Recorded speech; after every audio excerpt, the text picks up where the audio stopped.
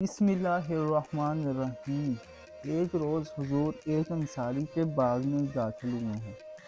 जब हजूर पाक एक अंसारी के बाग में दाखिल हुए तो उसी वक्त हजूर की नज़र एक ऊँट पर पड़ी और जब ऊँट ने आपकी तरफ़ देखा बाग के अंदर खड़े में तो वो ऊँट रोने लगता और उसकी दोनों आँखों के अंदर आँसू आने लगे।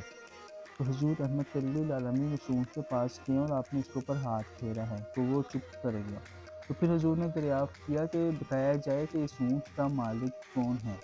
तो एक नौजवान इंसारी कहने लगा कि, या रसूल अल्लाह ये ऊँट मेरा है। तो हजूर अपने अहमद आलमीन ने उसी वक्त फरमाया कि, ये जो चार पाए हैं, क्या तुम इनके बारे अल्लाह के हजूर, अल्लाह से नहीं डरते जिसने तुम्हें इसका मालिक बनाया है? इसने इस ऊँट ने मेरे पास तुम्हारी शिकायत लगाई है कि तुम इस पर बहुत जुल्म करते हो और तुम इसे बहुत भूखा भी रखते हो। मेरी दिल से दुआ है कि अपने प्यारे रसूल सरकार रहमत आलमीन के साथ सभी पर अपना खसूसी फजल करम फरमाए। अपना बोझा ख्याल रखें दो में याद रखें। अल्लाह हाफ़